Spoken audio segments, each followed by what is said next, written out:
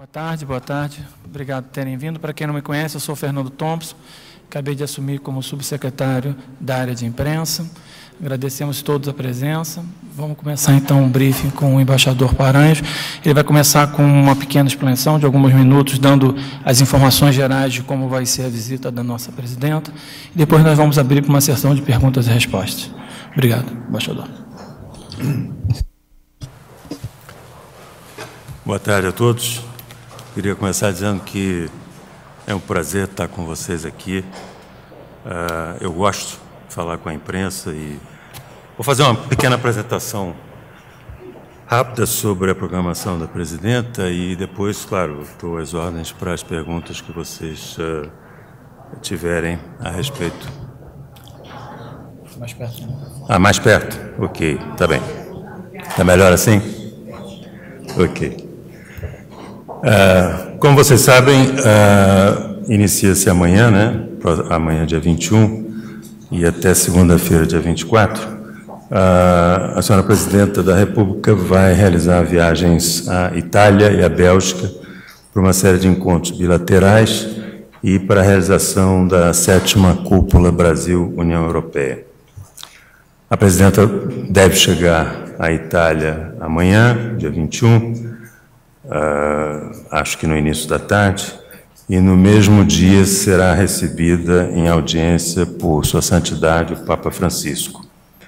Uh, há também indicação de que uh, ela deverá ver ainda amanhã também, antes da audiência com o Papa Francisco, o presidente italiano Giorgio Napolitano. Na, no encontro com o Papa Francisco, Uh, evidentemente que uh, ambos vão intercambiar opiniões sobre a agenda internacional e eu gostaria de uh, assinalar a intensificação do diálogo com o Vaticano, sobretudo tendo em vista que o Papa constitui hoje, no plano internacional, uma voz cada vez mais atuante na promoção de temas caros ao Brasil, como inclusão social, combate à pobreza, luta contra a discriminação. A presidenta participará nos dias 22 e 23 das celebrações do consistório, que é um grande evento da Igreja Católica, durante o qual serão criados 19 uh, eh, novos cardeais inclusive o brasileiro Dom Orani João Tempesta. Essa indicação de mais um cardeal brasileiro reforça a projeção do Brasil e também da América Latina no âmbito da Igreja Católica, sobretudo tendo em vista que o Brasil tem o maior número de adeptos, cerca de 123 milhões de praticantes da religião católica. No domingo, dia 22, pela manhã, haverá a cerimônia de criação dos novos cardeais, os quais receberão cumprimentos na tarde do mesmo dia. Perdão, no, dia, no sábado, dia 22. E no domingo, dia 23, o Papa celebrará a missa na Basílica de São Pedro com os novos cardeais. Eu acho que, com relação à audiência que concederá o Papa Francisco, é importante a, assinalar a identificação de uh, objetivos e de propósitos, dado que, como eu disse antes, uh, o Papa tem uh, sido muito vocal na defesa de temas como inclusão social, combate à pobreza e luta contra a discriminação. Ah, e, e para nós também é muito importante, ah, eu sei que muitos podem perguntar, bom, mas por que ah, uma visita a Roma para a criação de um novo cardeal brasileiro? É preciso não esquecer que, ah, para além do prestígio que isso representa para o país, Dom Orani Tempesta foi o grande uh, articulador uh, no Rio de Janeiro uh, do sucesso da Jornada Mundial da Juventude, que foi, como os senhores sabem, o primeiro grande evento externo do primeiro ano de pontificado do Papa Francisco. Foi um, um, um, evento absolutamente extraordinário, que congregou milhões de pessoas no Rio de Janeiro em clima absolutamente pacífico. Vocês se recordam da, da grande missa na praia de Copacabana, que era para ser feita em outro local, etc., e que resultou num evento belíssimo, absolutamente pacífico, e Dom Orani Tempesta, depois uh, elevado à condição de cardeal, foi, uh, pela Igreja, o grande uh, impulsionador desse, desse evento. Então, nada mais natural do que prestigiar a criação desse novo cardeal. ainda em Roma, a presidenta, como eu disse, manterá um encontro uh, bilateral com o presidente Giorgio Napolitano. Uh, vocês sabem que, uh, no momento, a Itália está no momento de transição. O então primeiro-ministro Letta pediu demissão. um novo governo vai ser formado por um líder do seu próprio partido, mas o presidente napolitano é uh, o chefe de Estado.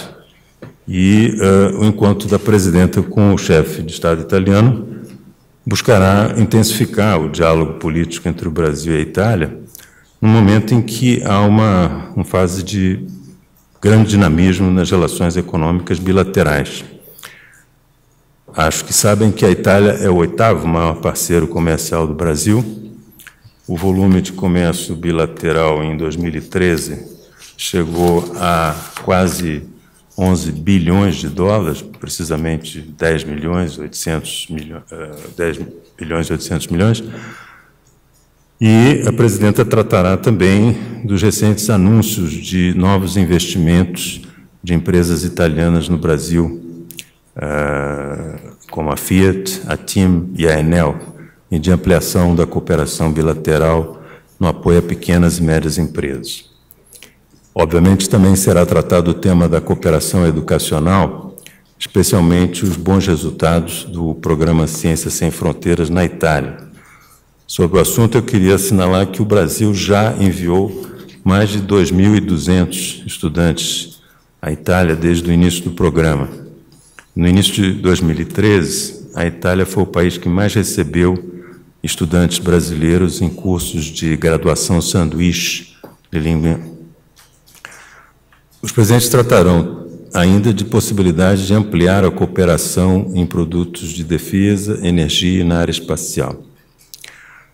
Depois das suas atividades em Roma e no Vaticano, a presidenta se deslocará eh, no domingo para Bruxelas, onde participará da sétima cúpula Brasil-União Europeia, na segunda, dia 24 de fevereiro. A União Europeia, acho que não é preciso me estender muito sobre a sua importância, a sua formação, mas acho que é importante notar que, em seu conjunto, a União Europeia ainda é o nosso principal parceiro comercial e o nosso principal uh, investidor externo. Mais de 20% do nosso comércio exterior é realizado com a União Europeia um volume de comércio da ordem de 98,5 bilhões de dólares em 2013. E mais da metade do estoque de investimentos estrangeiros diretos no Brasil, na verdade 51%, cerca de 303 bilhões de dólares de investimentos, provém de países membros da União Europeia. A presidenta, ah, na sua programação, deverá manter uma, uma reunião, que é, é, o formato normal, né? inicialmente uma reunião mais restrita, com o presidente do Conselho Europeu, o Herman Van Rompuy, e com o presidente da Comissão Europeia, o José Manuel Durão Barroso. Após essa reunião de caráter eh, mais reservado, ocorrerá a cúpula propriamente dita e os dois lados vão passar em revista os avanços na parceria estratégica Brasil-União Europeia e, sobretudo, os desdobramentos ao longo do último ano, porque, como se recordarão, uh, tanto o presidente Van Rompuy quanto o presidente Durão Barroso estiveram aqui uh, no início de 2013 para a cúpula anterior, a convite, evidentemente, da presidenta Dilma Rousseff. Nessa reunião será lançado o, uh, o grupo de trabalho ad hoc em temas econômicos e adotado o plano de ação sobre competitividade e investimentos Brasil-União Europeia, que vem sendo negociado desde a última cúpula e que tem por objetivo aproveitar, aproveitar complementaridades e promover sinergias entre as economias do Brasil e da União Europeia. Também uh, serão examinados importantes dossiês em andamento entre os quais o projeto de primeira ligação direta entre o Brasil e a Europa por cabo de fibra ótica, com benefícios às áreas de educação, pesquisa, inovação e comércio, e também para a segurança da internet. Durante a cúpula, será também discutida a cooperação entre o Brasil e a União Europeia uh, em temas relacionados com a internet, sobretudo tendo em vista que o Brasil vai sediar aqui uh, uma grande conferência sobre governança da internet em abril, em São Paulo, como sabem, com vistas a propiciar entendimento sobre a governança e o uso da internet, com respeito, entre outras questões, à liberdade de expressão e privacidade. Outro tema relevante uh, é a cooperação em educação. A cúpula coincidirá com o Fórum de Reitores Brasil e União Europeia, sobre internacionalização, inovação e empreendedorismo na educação superior e discutirá perspectivas de ampliar a cooperação do programa Ciências Sem Fronteiras com os programas europeus Erasmus Plus e Marie Curie.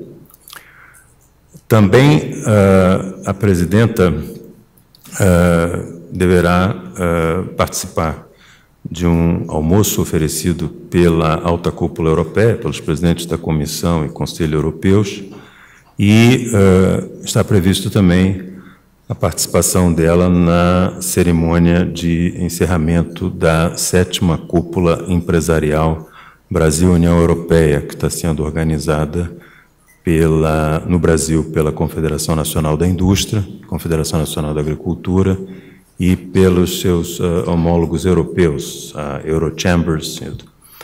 Um, ao final da cúpula, a presidenta e as autoridades europeias adotarão um uh, importante comunicado conjunto uh, que tratará não só das relações Brasil e União Europeia, mas também de toda uma série de temas uh, globais da, da realidade internacional. E estão previstos também uh, um encontro com o primeiro-ministro belga, Hélio de Rupo, e, se a agenda permitir, um encontro com o rei Felipe da Bélgica. Isso era o que eu tinha a dizer a vocês e me coloco à disposição para perguntas, comentários, esclarecimentos, que eu puder ajudar, contem comigo. Obrigado, obrigado pela atenção. Vamos começar então a sessão de perguntas. Só peço você se identificar para o embaixador. É, embaixador Diogo Alcântara, repórter do Portal Terra. É, sobre, o, o, senhor mencionou os, os, os temas principais é, do Portal Terra, Terra. de internet. É, o senhor mencionou os temas principais a serem tratados na cúpula Brasil-União Europeia. Eu gostaria de saber se, eventualmente, o senhor tem é, Quantos atos especificamente são previstos é, para serem assinados? E também se eu queria perguntar sobre a, a, questão das negociações de Open Skies, como é que anda essa negociação? Porque desde 2011 isso vem sendo discutido. Ah, na, no último encontro falou-se que faltavam poucos, é, poucos ajustes a serem feitos. Eu gostaria de saber o que está emperrando as negociações. Obrigado. Negociações sobre o quê, perdão? Open Skies. Comerciais. Não, o, Open Skies, céus abertos. Ah, Open Skies. Ok. Bom, em termos de uh, instrumentos, né? como eu disse a vocês, não sei se foi claro, haverá um, um, um importante e extenso comunicado conjunto a ser assinado E também, como eu disse, uh, vai ser uh, adotado, não necessariamente assinado, o Plano de Ação sobre Competitividade e Investimentos Brasil-União Europeia.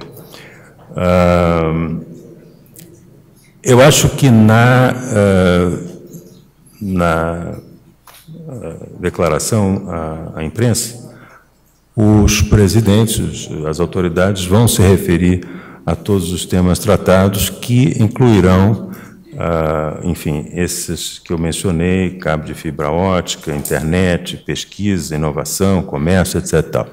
Quanto ao acordo de transportes aéreos, é um tema que ainda está em negociação. Ah, eu não vou ah, lhe omitir o fato de que ainda persistem algumas dificuldades. E, como você deve saber, o processo decisório intra-europeu é um processo que sempre remete a novas consultas com todos os 28 países membros. Uh, enfim, então, uh, não será ainda agora que poderemos uh, chegar à finalização desse acordo, segundo as informações de que eu disponho até o momento. Embaixador Lisandra Paraguaçu, do Estado de São Paulo. É, são duas perguntas. A primeira é em relação ao cabo de fibra ótica. Eu queria saber se já tem. É, Deve-se sair de lá em que situação? Uh, já tem um prazo para se começar essa construção? Já tem investimento? Que, é, e em relação a também essa questão da negociação sobre a governança da internet, é, a União Europeia soltou há pouco tempo atrás um documento deles, né, de uma política deles, que eles devem trazer para essa cúpula de, de abril. Eu queria saber se tem chance de se fazer uma, uma proposta conjunta, se vai, se vai ser negociado né, entre a presidente e a União Europeia lá. Bom, então vamos por partes. No caso da, da questão da, da internet, eu acho que vai ser muito importante que a presidenta possa apresentar uh, e conversar em maior profundidade com os parceiros europeus a respeito da visão do Brasil para essa conferência de São Paulo e insistir em relação à participação uh, europeia. Como vocês sabem, nós estamos organizando uma conferência multissetorial com representantes não apenas de governos, mas, enfim, de uh, todas as partes interessadas, inclusive de, de, empresários, sociedade civil, etc. Eu acho que vai ser uma oportunidade para a presidenta é, realmente aprofundar uh, uma conversa com os europeus a respeito dessa questão de governança da internet e uh, do, uh, da visão do Brasil e também ouvir as ponderações europeias, ou a visão europeia a respeito desse tema. o outro tema que, desculpe, você mencionou, com relação à, à ligação de fibra ótica. Em relação à ligação de fibra ótica, nós estamos trabalhando na questão da arquitetura financeira dessa, desse projeto, que é um projeto importante, porque será o primeiro, que eu saiba, né, primeiro projeto de ligação direta uh, por fibra ótica entre uh, o Brasil e a Europa, criando um, um, novo canal, digamos, uma nova via de, de comunicação de alta velocidade, Uh, e aí eu acho que a, o nosso interesse é explorar com os europeus a questão uh, da participação europeia nessa arquitetura financeira desse, desse projeto, que é um projeto muito importante, é um projeto prioritário para nós, mas que demanda, evidentemente, um, um detalhamento em matéria de uh, financiamento. Carlos Monforte, da, da Globo News. É, são dois temas que não estão aqui relacionados, mas eu gostaria de saber eh, se serão tocados pela presidente lá. É, o primeiro é sobre esse questionamento da União Europeia sobre os supostos eh, subsídios ilegais do Brasil. E segundo, é, que ela não tem mandato para isso, mas eu gostaria ela, que ela fosse informar, se ela fosse informar os europeus, como é que andam as negociações para o acordo Mercosul-União é, Europeia, já que o negociador brasileiro vai estar lá junto com ela em Bruxelas. Obrigado, Monforte. São duas questões importantes e eu gostaria de começar uh, esclarecendo o seguinte: trata-se, como, enfim, eu assinalei e o próprio título da cúpula indica, uma cúpula Brasil-União Europeia. Não se trata de uma cúpula Mercosul-União Europeia. É óbvio que o tema da preparação dessa negociação ou do andamento dessa negociação poderá ser aflorado. E uh, é óbvio que a, que a presidenta uh, deverá deixar claro o nosso compromisso com essa negociação, que, aliás, diga-se passagem, está avançando bastante bem. As informações de que eu disponho são de que uh, os parceiros do Mercosul estão avançando bastante bem na finalização dessa, dessa proposta do Mercosul, de maneira a que haja, num brevíssimo prazo, uma troca de ofertas entre União Europeia, Mercosul Mercosul, União Europeia. Ah, dito isso, eu acho que, com relação a, ao pedido de consultas né, da União Europeia, ah, acho que é uma tendência a caracterizar como a existência já de um contencioso eu, tendo servido em Genebra duas vezes, conhecendo bem temas de OMC, posso dizer o seguinte: no momento que existe, ou que existiu, foi um pedido de consultas, que é, naturalmente, um passo previsto é, dentro da OMC, normal, enfim, e foram trocadas perguntas e respostas a respeito do regime que é, eu acho que você muito bem colocou sobre alegadas ilegalidades.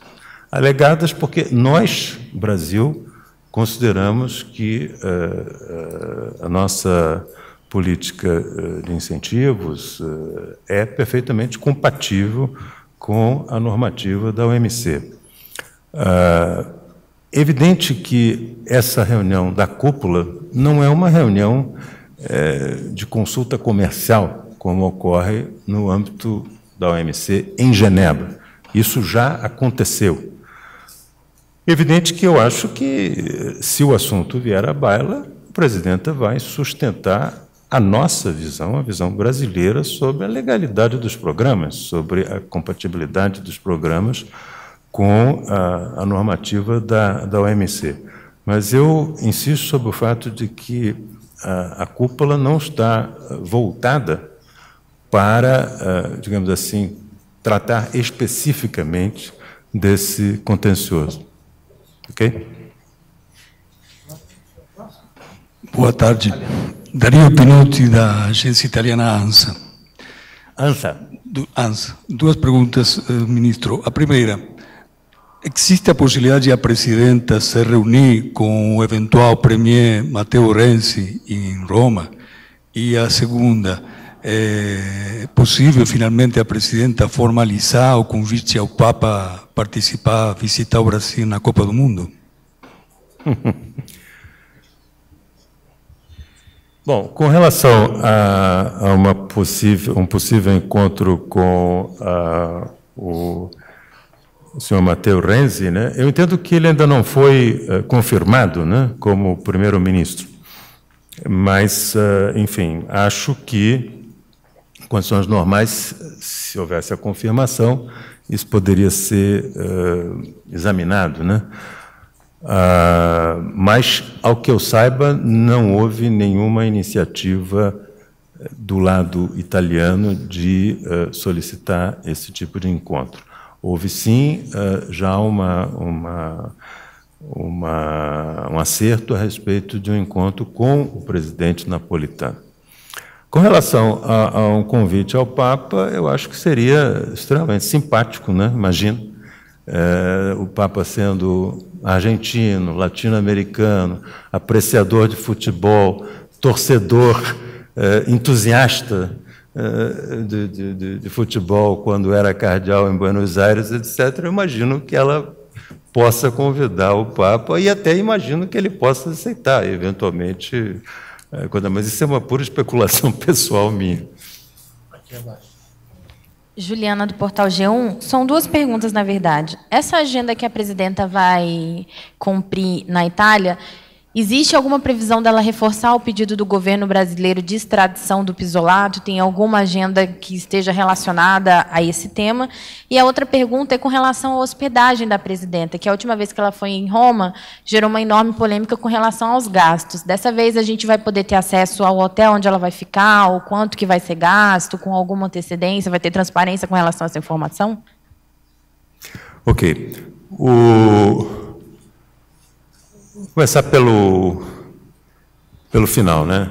Essa questão dos gastos vem, vem sempre à baila, mas uh, eu acho que vocês, enfim, espero que vocês entendam que é, toda essa questão de gastos antes, né, são dados, uh, gastos e hospedagem, né, são gastos, digamos assim, de, dados de natureza confidencial. Agora, Sempre eh, que essa questão vem à baila, eu me lembro do fato de que todos os gastos de qualquer autoridade, e a presidenta da República não é uma exceção, são auditados pelo Tribunal de Contas. São, são naturalmente objetos de, de, de um processo de supervisão, de auditoria, etc. Ah, com relação a, ao caso é, Pisolato, eu diria que não. Eu, isso trata-se de uma visita de natureza bilateral, uh, de alto nível. Uh, o processo, digamos assim, de uh, solicitação de extradição tem as suas vias próprias. Né? Nós temos mecanismos de cooperação judiciária com a Itália e eu não vejo por que a presidenta deva é, suscitar é, essa questão. É uma questão que normalmente tem um canal próprio, né, é, de cooperação judiciária e é que e que é tratado em nível técnico apropriado. Né? Mais alguma pergunta? Onde é que o presidente vai se hospedar? Na Itália? Na Embaixada do Brasil. Boa tarde, embaixador Catarina, do jornal o Globo. Eu queria fazer uma pergunta aqui sobre o continente americano, se o senhor me permite. Você é do Globo? Do jornal O Globo. Certo. É, eu queria perguntar como é que o governo brasileiro está acompanhando a questão da Venezuela, os, os as manifestações, a violência que está acontecendo lá na Venezuela, se isso gera preocupação, se isso pode afetar a estabilidade da região, como é que o governo está acompanhando essa história? Obrigada. Olha, esse não é um tema da minha agenda, nem é um tema da minha área. Eu só posso dizer que, obviamente, em se tratando de um país vizinho, um país amigo, etc., é claro que nós, eh, nós acompanhamos a situação. Mas eu eh, não, não, veja bem, eu não estou me esquivando de dar uma resposta, não. Mas uh, eu acho que, como o nosso, nosso briefing é para tratar da viagem da presidenta, eu, eu prefiro me concentrar mais na viagem da presidenta e, e no roteiro dela. Depois você encaminha a pergunta para a nossa área internacional, a gente tenta encaminhar para alguém que possa te atender, tá? Eu vou reforçar teu pedido. Nada. O meu colega está assinalando o fato de que há, há, um comunicado oficial do Mercosul sobre a situação da, da Venezuela. Tudo. Eu fico mais feliz que a gente deu uma resposta. Hein? fico feliz que demos uma resposta, pior do que não dar. Né? É, não, claro. Eu... Obrigado. Mas, enfim, acabaram as perguntas? Eu quero mais perguntas. Então tá, gente. Obrigado. Muito obrigado, hein? Bom trabalho. E para aqueles que forem a Roma e a Bruxelas, boa viagem.